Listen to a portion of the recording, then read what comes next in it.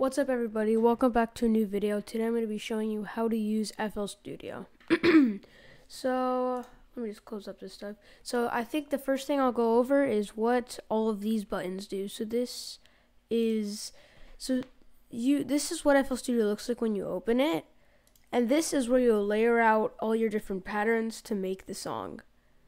This is the piano roll that you'll use to make piano. So like just play the pattern like that and you'll make piano. This is what you'll use to make like drums and stuff, even though not that many people use it. Make like this.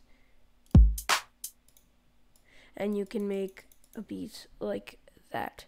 The next thing is the mixer channel. In the mixer channel, you can map stuff to different mixer channels and change the volume of them, add effects to them, like any of these effects. You can download plugins to add and just map everything in different mixer channels. Next is this. This button will just take out all of the sounds and instruments that you have right here. And then after that is this, which is just like patterns and sounds that you have, all patterns, channels, sounds, just like all that stuff. After that, we have the plugins, and if you press on this button, I'm pretty sure it's also F8. If you press F8, it opens up all the plugins. So all the ones that looks like it doesn't have like pictures, that's because I've downloaded them, like iZotope Vinyl, download Sausage Fattener, download Endless. But these are all downloaded ones. But a lot of them come with FL Studio. The $200 version has a lot of them, but the $200 version, which I have, if you get it, there's some of them that are trial and in the trial version, if you leave it, it'll delete it. So, yeah. This is to like change the tempo. It's called a tempo tapper. So you'll you'll pick. Oh, it's not appearing. But basically, you pick it up, and when you use it, you tap it. You tap it to like say 130 BPM, which is good. Now you can't see it, but it's just like a button that you press because I'm using two monitors. That's the tempo tapper. And then next is this, which is called touchpads. And I actually can't open that right now. But basically what it is is a bunch of touchpads that look like if you know what a launch pad is, that's what they look like and they have a bunch of different sounds. You can map up to them and play by touching them. So those are all the basic stuff. These ones are for when you're playing the song and recording. This one is to switch between patterns, and this is if you want to record stuff in, like if you right click it, automation, notes, all this other crap. You can't really see it. It's not. It's not gonna come up. but yeah. Then what they have is BPM to change the BPM, song slider, and all the in the tools that you can use when you're making music. So first, what I always start it start with is the channel rack. So there's it comes with four basic instruments that you can change out. And what I would do is first I would make a beat. So let's just make a super basic beat. Yeah, I'll just make a super basic beat right now. I think it's like that small when you first get it. So yeah.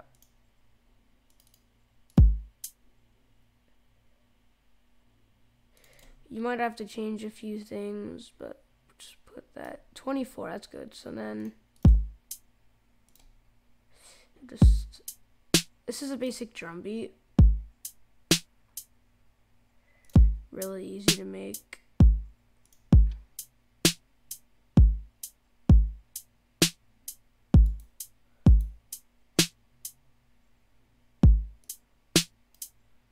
I'll just lower that a little bit, probably like there.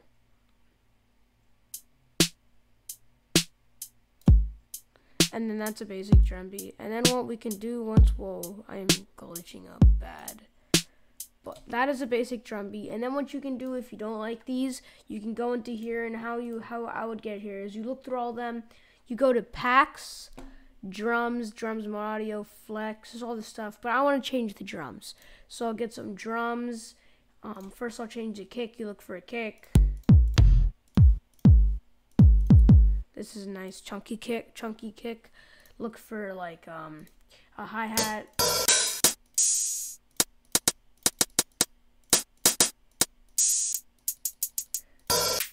I'm just going to keep the hi-hat because it's kind of hard to find hi-hats. I don't want to do that for that long. Then you can find snares.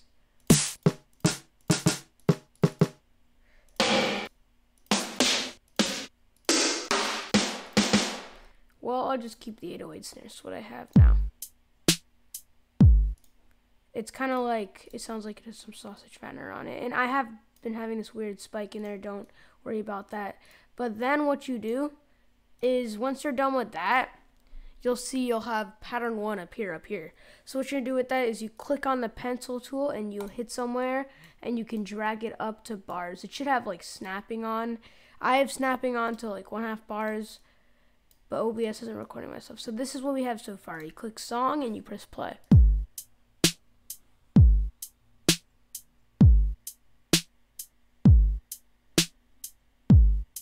perfect five bars, loops really well. And then you can create another pattern by pressing this, and you'll name the pattern. It's not going to come up, but I'll name it like uh, melody. The melody came up right here, and then once you press this button again to bring back up the channel rack, you have your melody, what I call melody. And then what you can do is you can choose. You can, the next part, show you.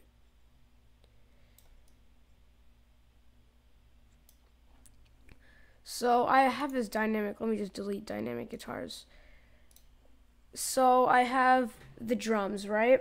And that's what I use to make this pattern one drum beat. But say I want to make a melody. Well, first of all, you can you you can go into here and instead of pressing on drums, you press instruments. There's bass, guitar, keyboard. Say you want to make like a grand piano, Rhodes, any of this stuff, you can use that. So look, I'll just do grand piano. And actually I have my piano, MIDI piano plugged in. So I'll just show you guys how that sounds. But yeah, that is how you can do piano. But if you want to do like another thing, you can press on this plus. A bunch of plugins will come up and you can choose one. I just choose this. But I don't actually want that. So right now, I'll just try and come up with some kind of grand piano beat. Um, beat. So what if you're working with like you can do it with drums, hi hats too. You will write. You can either to get into piano roll, which is what you use to like make the beats to like design the piano and stuff. You can either right click on grand piano and a piano roll thing will come up. But since that's not coming up, you can click this button right here and you can open up Grand Piano. Perfect. And now with this, you have an entire piano set up right here. And the main one is like C5. Or I have my keyboard right here. But yeah, that's my keyboard. I'm not to be like rolling around. So we can make a beat like this. So what I'll do is I'll drag in a C maybe. Oops. Never mind. I'll make a chord. So let's just do like. And I'll just do like chords. So right now.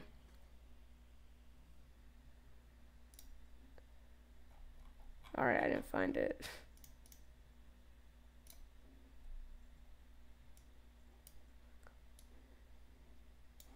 And I would delete this length thing. It's not working out. So, say you're gonna make a chord. Let's just do like a basic, basic chord. Let's do like a C. Let me see this. I can't. Can't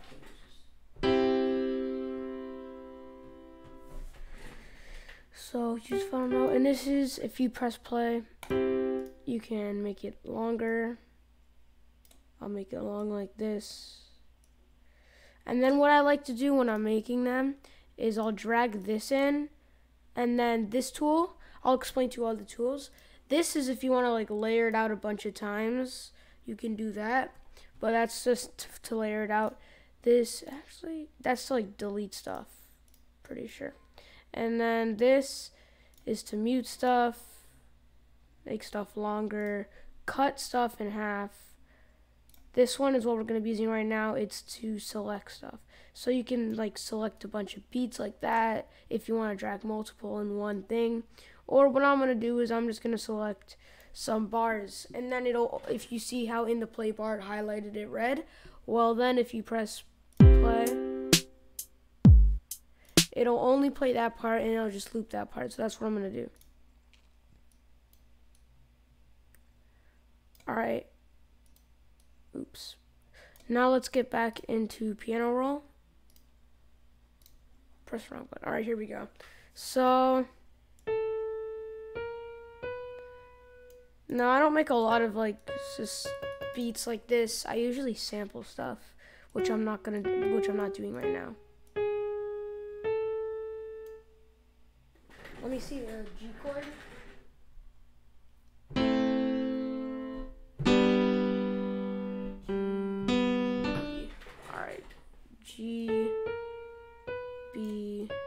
D. All right, let's go.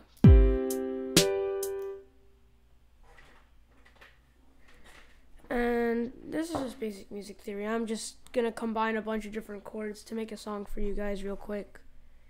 So here we go. Let's do like an E chord.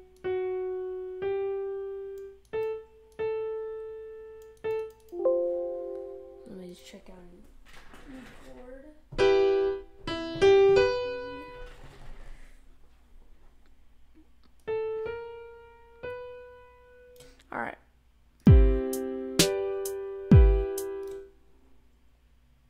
And then we'll do like an A chord over here.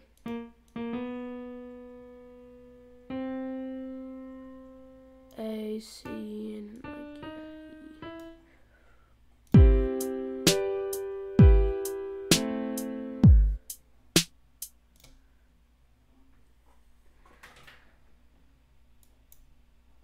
Alright, this isn't looping, right? So.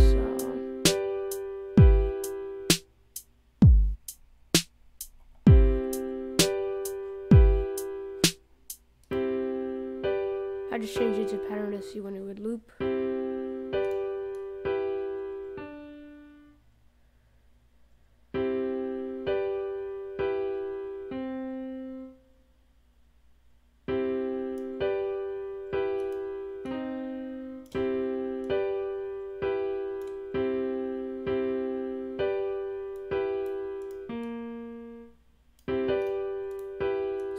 I'm just gonna find yeah G that would work.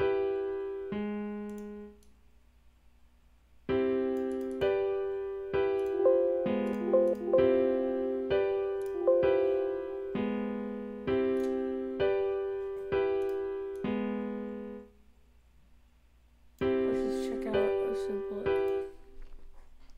What I'm gonna do is I'm looking for an A chord. I don't have any A chords on here. Dang it. Alright, let me just pull up a G chord, yeah. GBD. And uh, it looks like I have that except for one. Okay, here we go.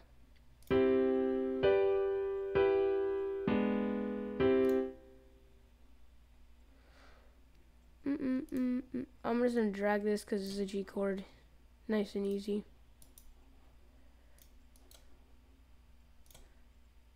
Then you'll do a control C and I'll do control V. So this is the second one highlighted for me.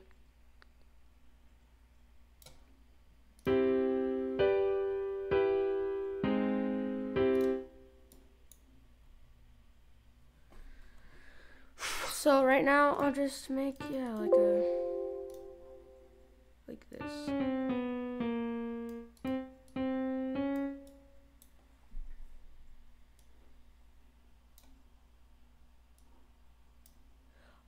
So I just did this. Alright, so this is what you have now.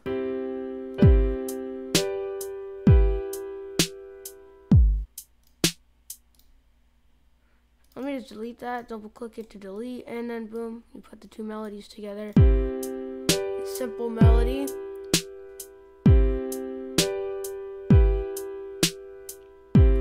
And it loops perfectly. And then what you can do is just click on pattern one and like paste in like a bunch, but I don't want to do that right now. That was so melody. And then what I'll go over next is effects. So I'll use a simple effect. Let's just EQ it. So let me just exit. All right. Let's see. Go to I'll go to master, and if you click on here, I'll find free free EQ. I think that's E. That's not EQ, dude. Let me just delete this real quick.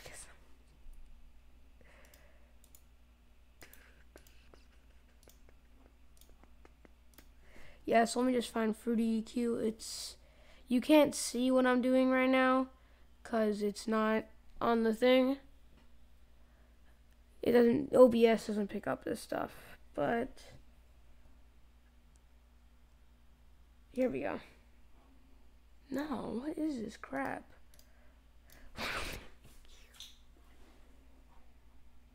Not Distructor. I'm gonna cut this crap out. This part is getting annoying.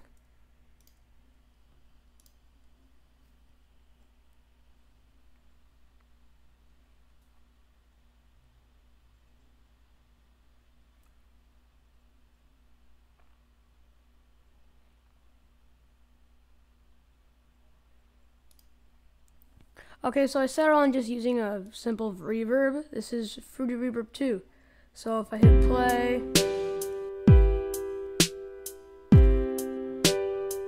change the reverb, make it really weird, make it sound like more wet.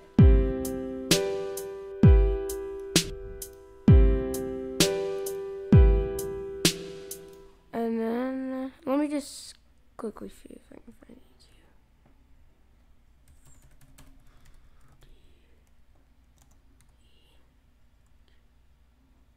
It's envelope controller, isn't it? There it is. Pretty sure this is EQ, but look.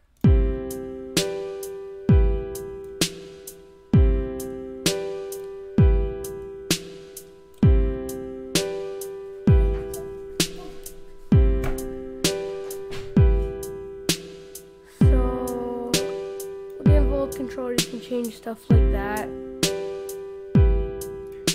Probably sounds like didn't change anything.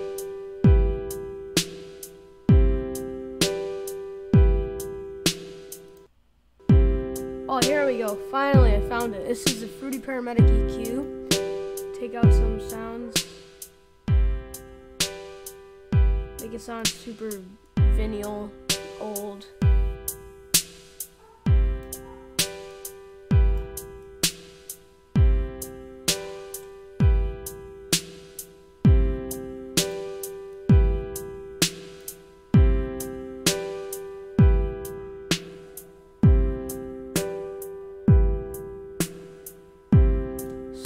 You can have some EQ on it, make this sound completely different from the beat.